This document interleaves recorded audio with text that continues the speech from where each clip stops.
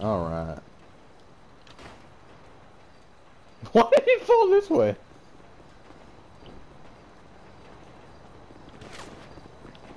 Oh, nope, wrong Threat. person. That's a threat.